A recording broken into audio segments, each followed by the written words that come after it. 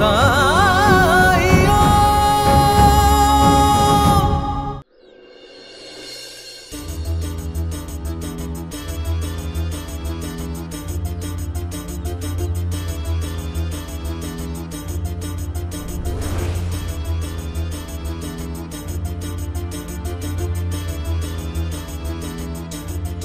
सब किसने भेजा है?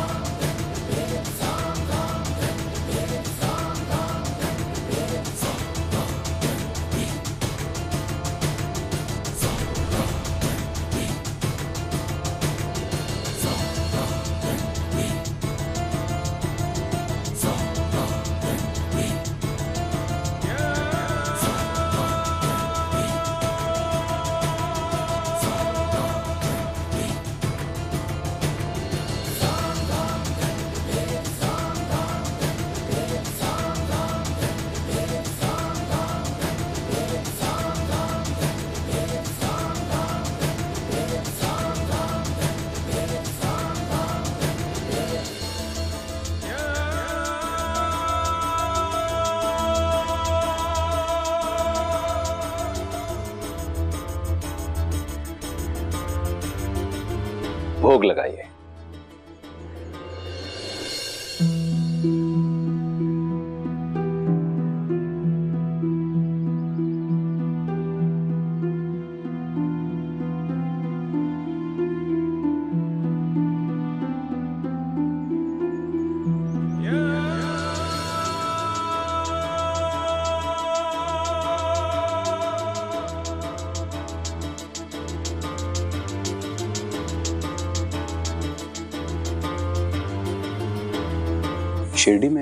नए लगते हैं आप।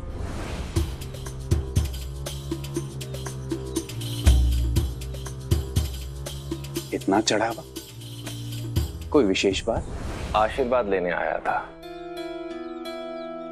कि जिस काम के लिए शिरडी आया हूँ वो काम पूरा हो जाए।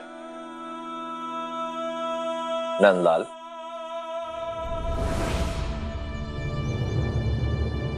आप सब लोगों के लिए साहब की तरफ़ से छोटी सी भेंट। आइए।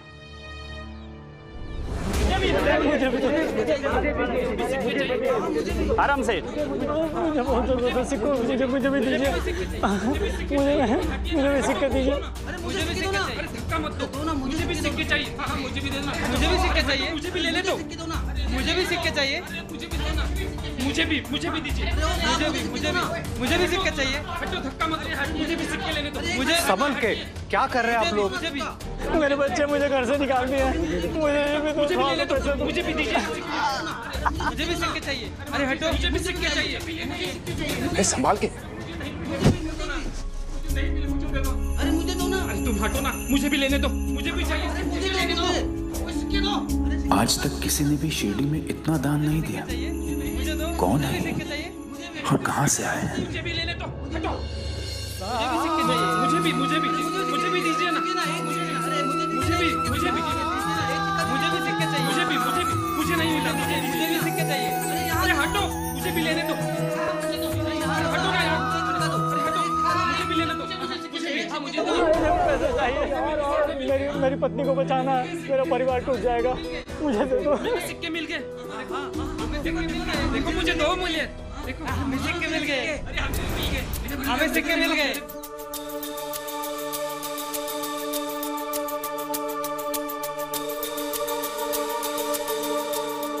अरे फकीर, तुम नहीं आए सिक्का लेने? किस्मत वाले हो। मेरे पास सिर्फ़ एक ही सिक्का बचा है। जिस पे तेरा ही नाम लिखा है। ये ले।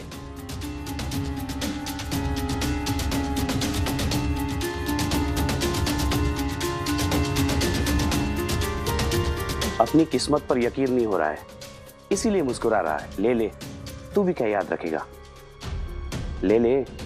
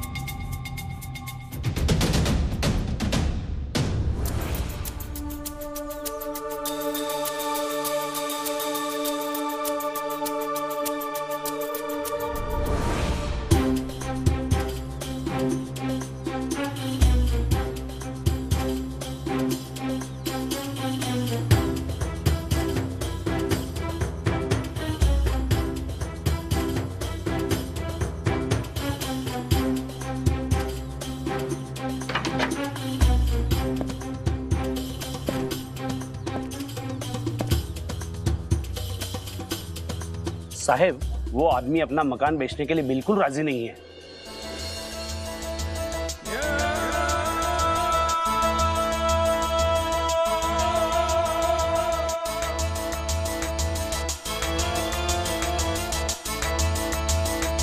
वो नहीं जानता कि मैं उसके बारे में क्या जानता हूँ।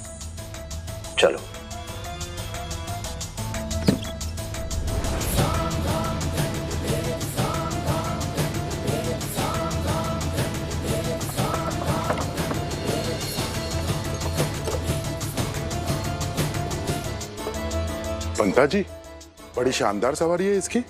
ऐसी सवारी तो अपने कुलकर्णी सरकार के पास भी नहीं है। हाँ अंता जी हमने आने में थोड़ी देर कर दी वरना कुछ सिक्के हमें भी मिल जाते। पर पंता जी ये है कौन? पता लगाना होगा। वैसे इसकी वेशभूषा देखकर ऐसा लग रहा है कि कुलकर्णी सरकार इसे प्रभावित ज़रूर होंगे।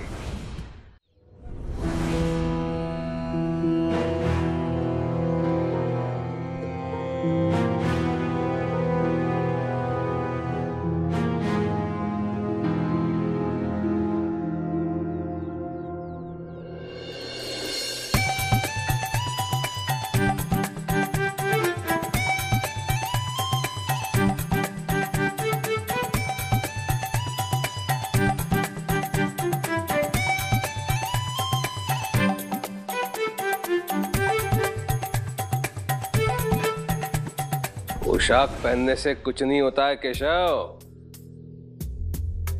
कुलकर्णी सरकार का पुत्र कुछ सीख भी रहा है या नहीं? केशव तुमने जो सीखा है वो अपने पिताजी को बताओ। क्या खाक बताएगा? हरिओम। सब तो आता है तुम्हें। बता दो। जाओ चलने जाओ। Hello.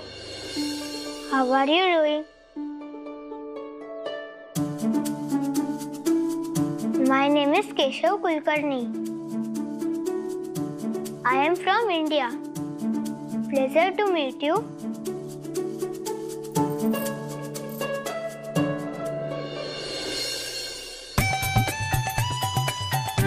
अरे देवा दादा अपना केशव तो पूरा अंग्रेज़ बन गया दादा। आ बैठ। बहुत अच्छे बेटा बहुत अच्छे। हाँ दादा हाँ। बहुत अच्छा बोला इसने। पर क्या बोला दादा? हाँ लेकिन जो बोला अच्छा बोला हाँ? वाह बेटा वाह। यदि इसी प्रकार तो अपने पिता को गौरव अन्वित करता रहा ना तो तुम्हें कभी मिर्ची नहीं खानी पड़ेगी। तू खाएगा केवल लड्डू। हरिओम, लड्डू। रुक्मिणी, जाओ। मेरे पुत्र को और पवन जी के लिए लड्डू लेके आओ। जाओ। हरिओम। वो अंतिम जो पंक्ति थी, वो बहुत हाँ ले ले ले ले। अरे मिर्ची नहीं है, लड्डू है ये। खाओ।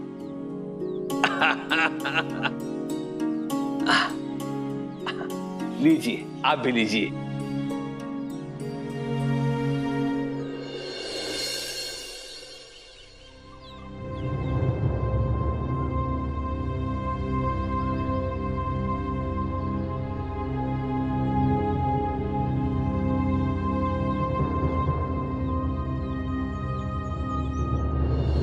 कैसे हैं आप?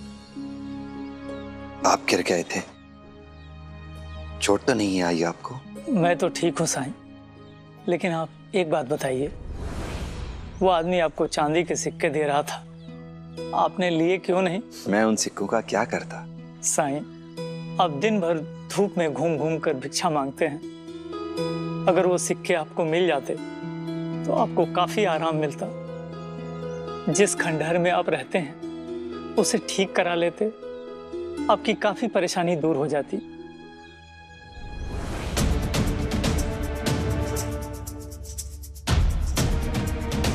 लेकिन मुझे कोई परेशानी नहीं है।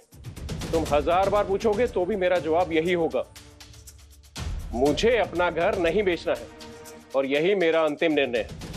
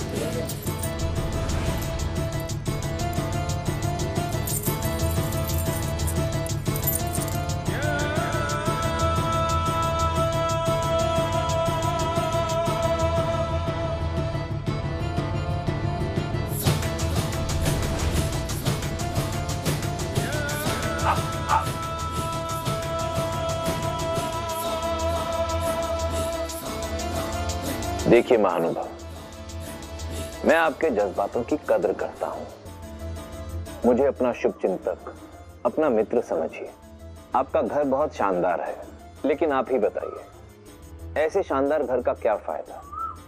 जिसमें रहने वालों के मन में सुख और शांति का वास ही ना हो।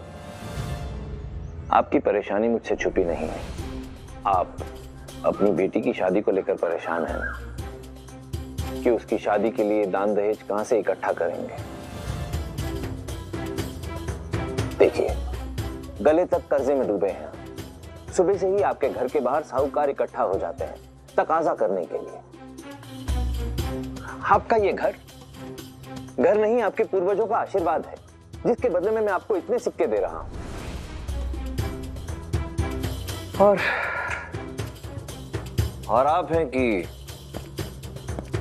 अपने पूर्वजों के इस आशीर्वाद को अस्वीकार कर रहे हैं।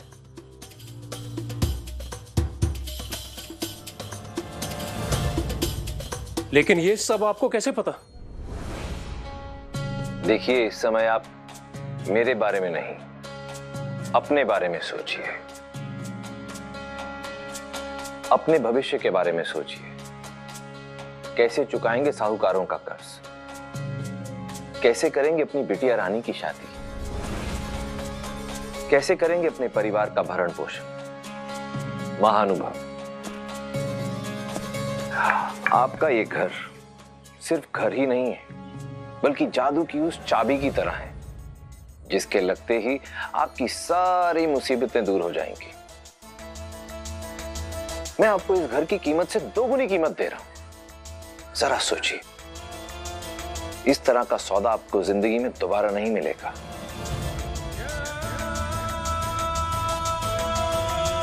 लेकिन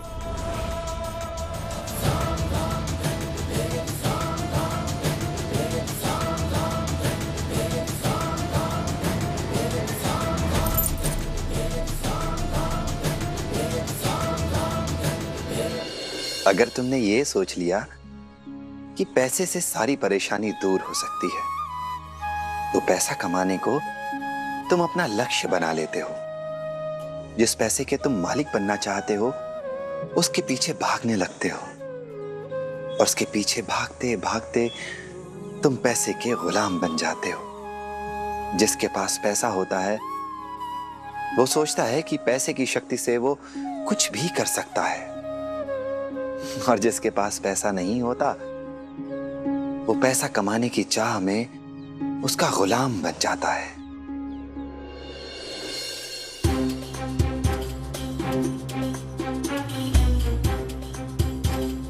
आज से ये घर आपका हुआ। हम लोग शाम को इसे छोड़कर चले जाएँगे।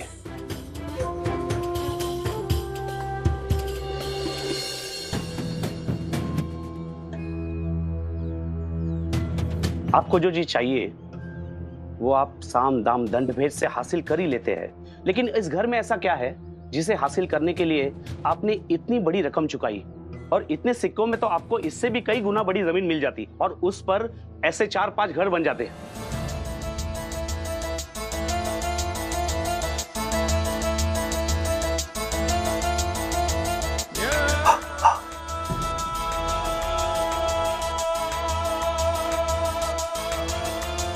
नंदलाल, कह तो तुम ठीक रहे हो।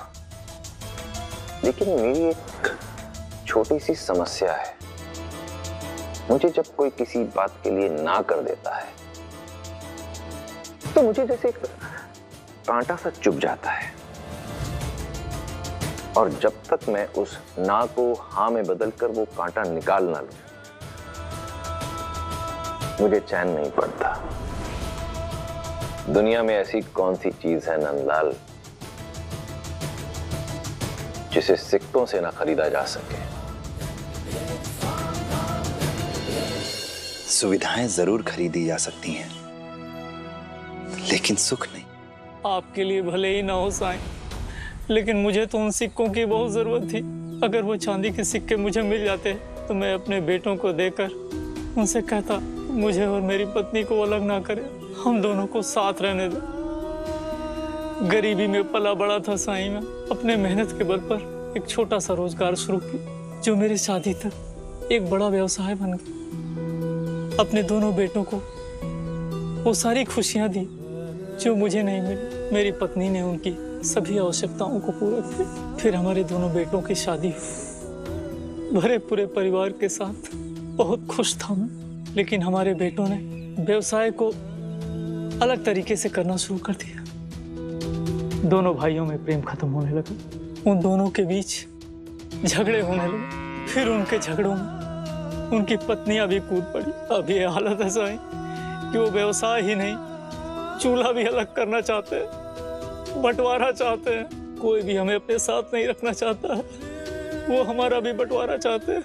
उन दोनों ने तय कर लिया है कि मैं बड़े बेटे के साथ रहूँगा और मेरी पत्नी छोटे बेटे के साथ रहेगी। जिस औरत ने जीवन भर मेरा साथ दिया है, बुढ़ापे में मैं उसका साथ कैसे छोड़ दूँ, सर? इसलिए मैं चाहता था कि वो सिक्के मुझे मिल जाए और उन सिक्कों को रिश्वत के तौर पर अपने बेटों को देकर मैं उनसे कहता कि मुझे और मेरी पत्नी को अलग मत कर। हम दोनों को साथ रहना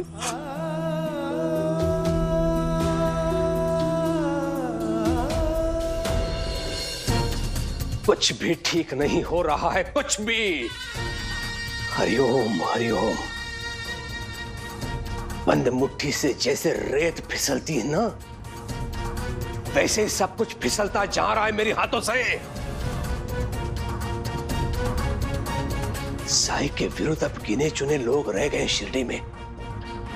ऊपर से ये नया संकट। कौन है वो जो यहाँ आकर चांदी के सिक्के लुटा रहा है?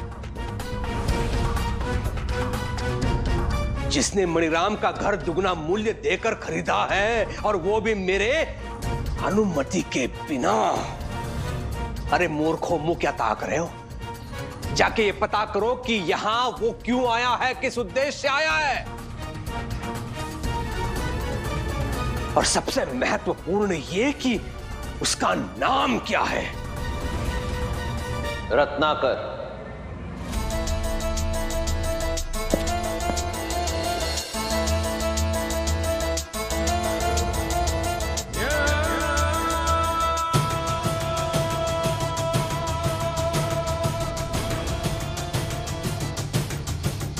रत्नाकर राव। सरकार ये वही है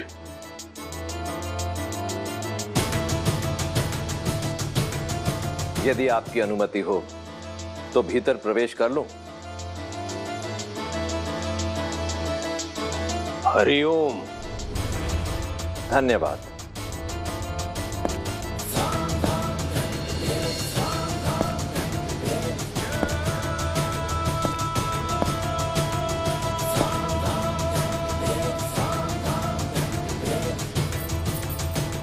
आपसे पहले भेंट करने नहीं आ सका।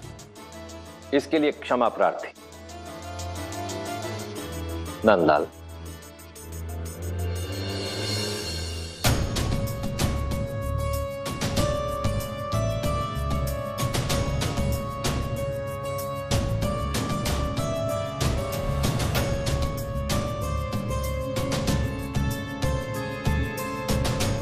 ये चांदी से बना डिब्बा। आपकी जड़ी बूटियों के लिए।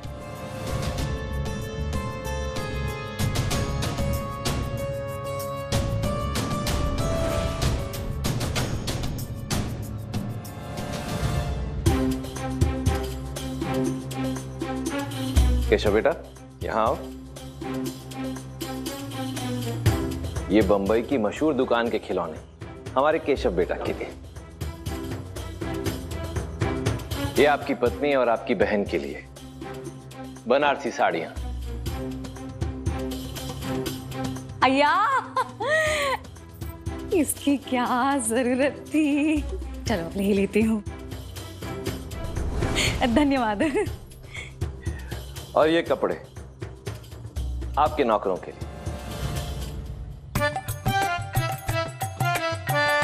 हाँ हाँ आप लोगों के लिए रख लो। नौकर बनारसी साड़ियाँ। कितनी महँगी होती है। और सुंदर भी। हमारे लिए है।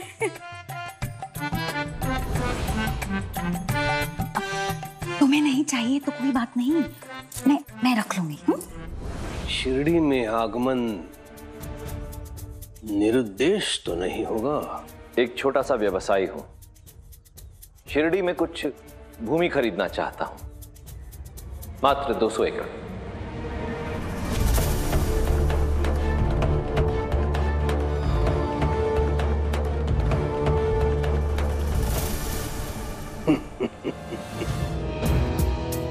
दो सौ एकड़। बता भी है 200 एकड़ भूमि कितनी होती है?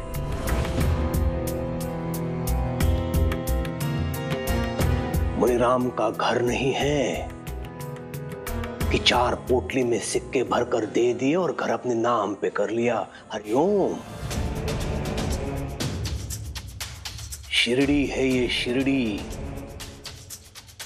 कुलकर्णी सरकार की शिरडी। यहाँ सिक्के किसी के हाथ में भी गिरे ना तो उसकी खनक मेरे कानों तक ज़रूर पहुँचती है।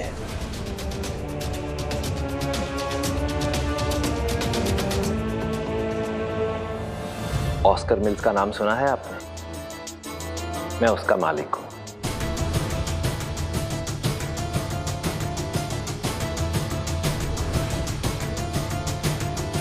वैसी ही एक मिल यहाँ लगाना चाहता हूँ शिरडी में। देखिए, हमारी मिल में बना कपड़ा और शक्कर। यहाँ भी और विदेशों में भी। बहुत मशहूर है। अब चाहता हूँ कि शिरडी में भी ऐसी ही एक मिल लगे। यहाँ मिल बनेगी तो सबको रोज़गार मिलेगा। सबको रोज़गार मिलेगा तो सब आर्थिक रूप से मज़बूत होंगे। सबका फ़ायदा होगा। खास तौर पर आपका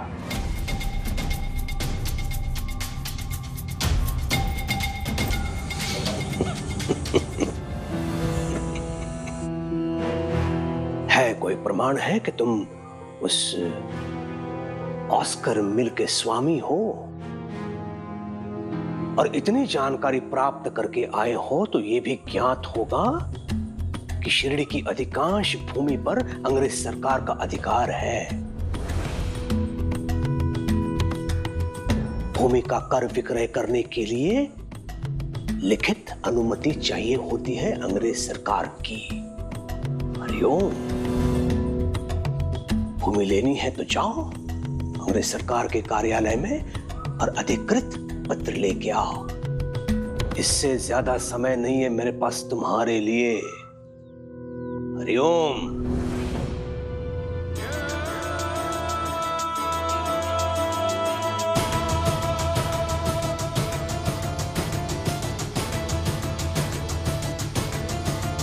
उचित है। आपसे शीघ्र ही फिर भेंट होगी। इस बार प्रमाण और समय दोनों के साथ।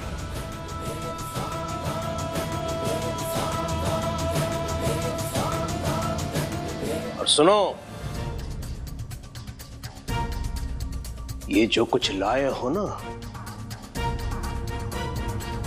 लेके जाओ।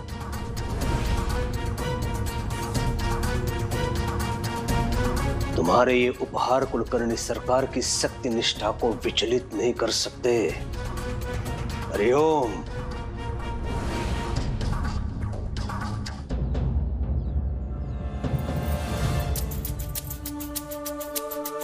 दादा अब ऐसे किसी का उपहार लौटाना अच्छी बात नहीं होती है है ना? जाओ।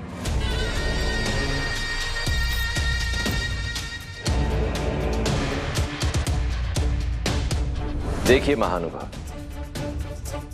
ये उपहार मैं आपके और आपके परिवार के लिए लाया था। अब ये आपके हुए। आपकी इच्छा पर है। इन्हें रखें या इनके साथ जो भी करें। मैं इन्हें वापस नहीं ले सकता। अगर माँ को मैं ले जा रहा हूँ तो उनके गहने भी मेरे साथ ही रहेंगे। वैसे भी माँ की तबीयत खराब रहती है। कहाँ से पैसे लाऊँगा इलाज के लिए मैं? फिर उनके गहने ही तो काम आएँगे भैया। नहीं। बड़ा बेटा मैं हूँ। माँ ने अपने जेवर मेरी पत्नी को देने का वादा किया था। इसीलिए गहने मेरी पत्नी के हैं। लेकिन भैया भगवान के लिए बंद करो लड़ाई। बंद करो। तो ये हैं आपके बेटे। हाँ सर।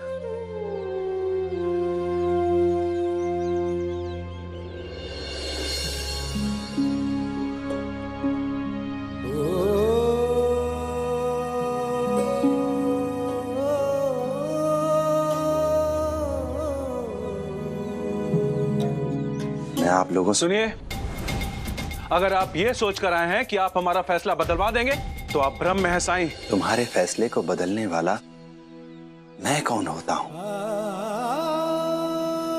मैं तो बस ये चाहता हूँ कि अपने अपने रास्ते अलग करने से पहले हम सब एक साथ बैठकर द्वारका माई में भोजन करें।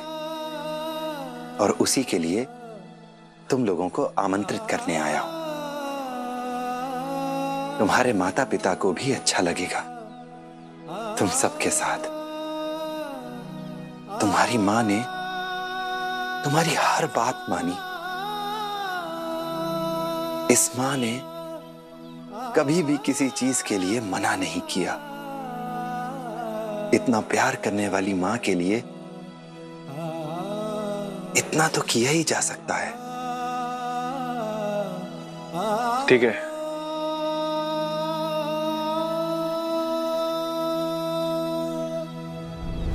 ठीक है। साईं क्या आपको लगता है कि सब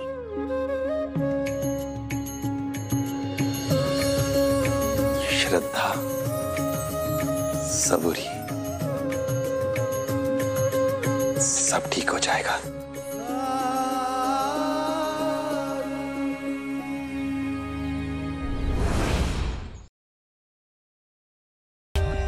For more updates, subscribe to our channel, click the show links and enjoy watching the videos.